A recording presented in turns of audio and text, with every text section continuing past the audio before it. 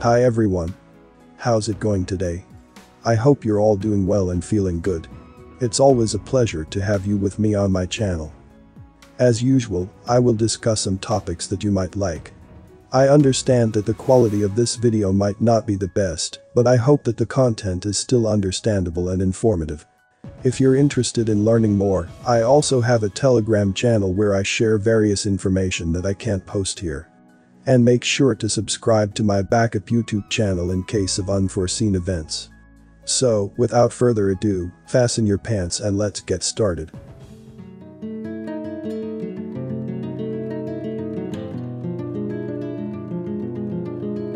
In the digital age, the incessant calls to action reverberate across the virtual landscape, summoning legions of fervent warriors to wage battles against perceived evils. This rallying cry, echoing the urgency of a multitude of crusades, permeates our online existence. Be it the casual dehumanization of entire swaths of people, to the slow deterioration of language through constant decries of racist and oh. Everything is a conflict now. A conquest. A campaign against the devil himself. We do not treat cancer, we fight it. We do not discuss climate change, we fight it. It is not enough to not be racist, you have fight against racism. The fight against homelessness, the fight against heart disease, the fight against hate, that's a novel one. The internet has become a constant battlefield where zeal and fury and bold untenable posturing are prized virtues. Amidst this cacophony, a troubling pattern emerges. The call to arms is always fueled by fear, anger, outrage and the demonization of specific, or sometimes not so specific groups of human beings. It is a grand mobilization, an ever-present summons to fight against perceived devils, urging countless brave soldiers to embark on a crusade. Yet, as we heed these calls, it is essential to question the consequences of blind action and reflect on the historical echoes that warn of the perils of unchecked zeal.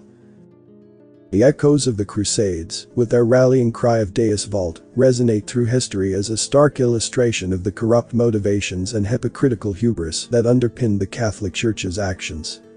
Pope Urban II's proclamation, ostensibly on God's behalf, invoked the commandment thou shalt not kill, revealing a selective interpretation that conveniently exempted Christians from guilt when facing non-Christians, particularly the Saracens. Poetically emphasized here. From the hand of Pope Urban, the second of his name, and woe betide any who reckon this claim as anything but what God wills it to be, a new holy order from our Holy Trinity. For we've all heard the commandments, those tablets of yore, ten holy orders, which holy are law. But we need to understand what God meant very clearly, for a footnote's been lost, I believe, quite severely, for when the Lord ordered that thou shalt not kill, he only meant Christians. The rest, well, do as you will. Hugs and kisses to all. A new day has reckoned. Feel free to kill Muslims now. Signed Pope Urban II. This allowed the ranks of Christendom to murder indiscriminately, to rape and burn and pillage, and all without any worry of eternal damnation. God wills it, after all. If he didn't, it wouldn't be. Just like Jesus always wanted. Before I continue the video, please give a like if you learned something. Also, don't forget to subscribe and click the notification bell so you won't miss any update. Finally, watch until the end to avoid any misunderstanding. Thank you. The Inquisition, marked by the belief that any means were justified in curing heresy, stands as another chapter in the annals of humanity's capacity for cruelty under the guise of righteousness. The pursuit of saving souls led to the performance of malicious and evil acts, with little resistance from a populace largely convinced of the righteousness of their cause. The Inquisition serves as a chilling reminder of how when fueled by the fear of damnation, individuals and institutions can so easily justify atrocities in the name of a greater good. The pernicious mantra of manifest destiny unfolded a chapter of history marred by such atrocities, betrayals, and land grabs, particularly in North America. The decimation of indigenous peoples, the wholesale slaughter of buffalo herds, and the misguided attempts at forced assimilation by the self-righteous virtue signalers of their day underscored the destructive consequences of ideological fervor. Native American children were forcibly taken from their families, herded to Christian schools, beaten and punished if they spoke their native languages or practiced their own spiritual beliefs. The notion that these people were obstacles to progress justified unspeakable acts carried out in the full belief that divine right was on their side. And the kindest, most virtuous do-gooders flocked to be the ones to beat the decency and civility into these savages. One saint can be caring, impassioned and empathic. But if they proliferate, they somehow inevitably turn into a mob of self-righteous fools, a catastrophe, a plague of saints as Alan Watts would call it. A plague that will stop at nothing to fix a world that's not broken.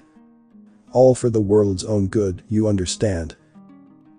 How can anyone claim to know what's good for other people? Do we even know what's good for ourselves as individuals?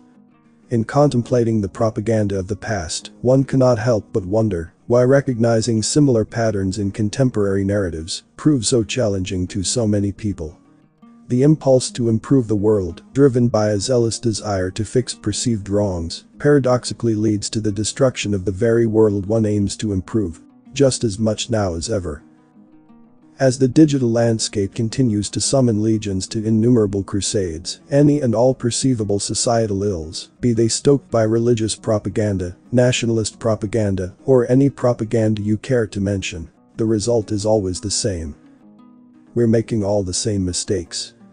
We can see the tyrannies and propaganda of yesterday and condemn it as heinous, as downright evil, and yet, rarely do we see it in today, nor, often, in ourselves. The echoes of the Crusades, the horrors of the Inquisition, and the atrocities of the colonial era serve as stark reminders that the road to hell is often paved with good intentions. And that just because you feel your cause is just through you, the devil might be acting out his interests it is a good time to ask yourself. Is my righteous fervor real, or has it been stoked deliberately by someone or something that wants sparks flying in as many directions as possible? Have I been cooped into a mob, my fury fueling some more insidious agenda? I guarantee you have more in common with those devils on the other side than you'd care to imagine. In a world where the call to action permeates every corner of our lives, the challenge lies in discerning when the fight against perceived devils becomes ideological and dogmatic.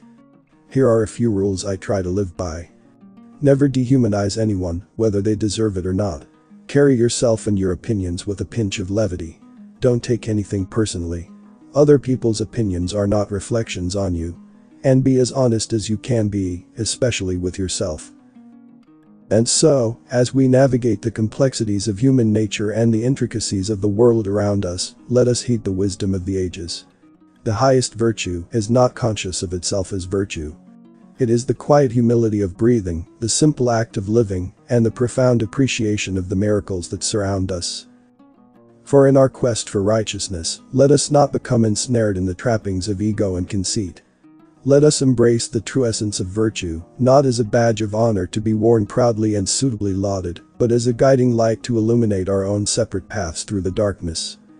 That is how good is best served. In the real tangible change that comes about when one stops fighting against the world and starts living as part of it. Now, it's time for me to hear from you. What are your thoughts on this video? If you found it interesting or informative, please consider giving it a thumbs up and sharing it with your friends and family. Remember, the more people know about these important topics, the better. Before we wrap up, I want to extend a huge thank you to all the individuals who dedicated their time and energy to research and gather the information presented in this video. Their efforts are truly commendable and have helped shed light on important topics that affect us all. Make sure to hit the subscribe button and turn on notifications to be notified when the next video is uploaded. Thanks for watching and I'll see you in the next one.